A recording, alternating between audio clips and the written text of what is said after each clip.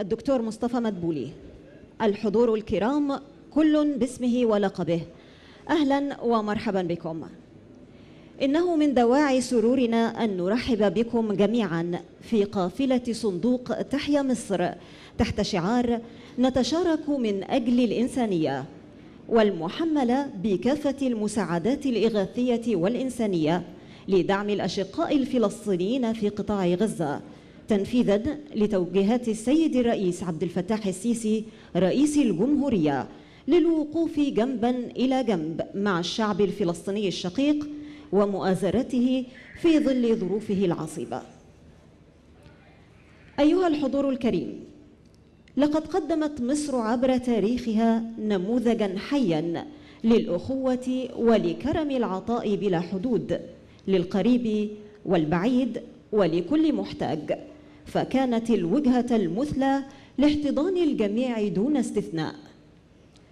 اليوم يطلق معالي الدكتور مصطفى مدبولي رئيس الوزراء قافلة صندوق تحيا مصر تحت شعار نتشارك من أجل الإنسانية محملة بكل الأجهزة والمستلزمات الطبية وكميات ضخمة من الدعم الغذائي لإغاثة أهل غزة. وذلك بحضور اللواء أركان حرب أحمد علي رئيس ديوان رئيس الجمهورية وأمين صندوق تحيا مصر. والدكتورة نيفين القباج وزيرة التضامن الاجتماعي.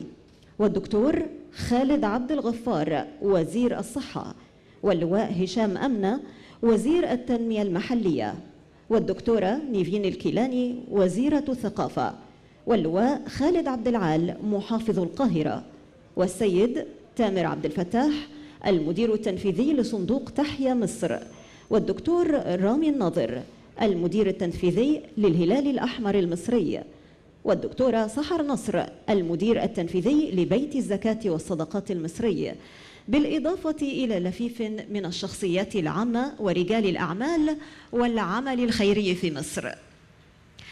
القافلة تتضمن 198 شاحنة.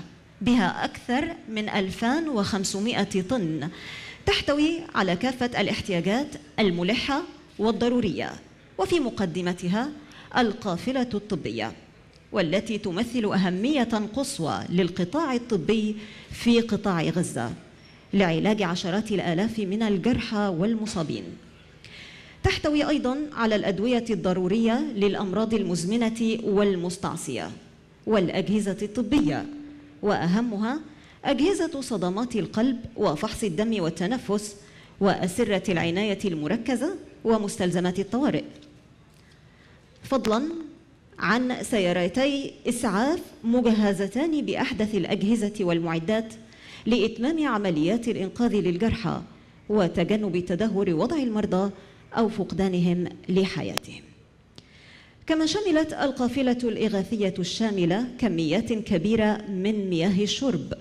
إلى جانب أطنان من المواد الغذائية الجافة والأطعمة الصالحة للأكل بدون طهي والألبان والعصائر والملابس والأغطية والمنظفات والمولدات الكهربائية وكشافات الإضاءة. كما أولى القائمون على قافلة صندوق تحيا مصر اهتماما كبيرا بالأطفاء والنساء خاصة الحوامل منهن.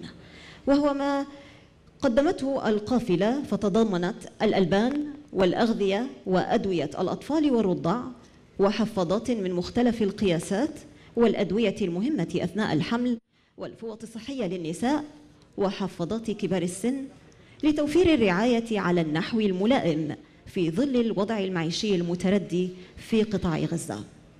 ويجري ترتيب دخول المساعدات وفقا لمتطلبات الهلال الأحمر الفلسطيني حسب الأولويات والاحتياجات لأهالي القطاع.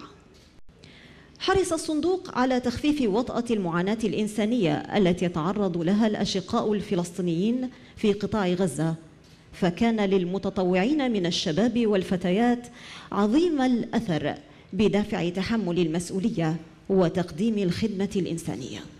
حيث لم يدخروا جهدا في تقديم المساعدة والدعم في هذا الحدث الاستثنائي الذي يتطلب المشاركة من الجميع حيث عملوا بشكل متواصل لإعداد أكبر قافلة مساعدات شاملة بكل الإمدادات من الاحتياجات الأساسية والإنسانية لأهل فلسطين.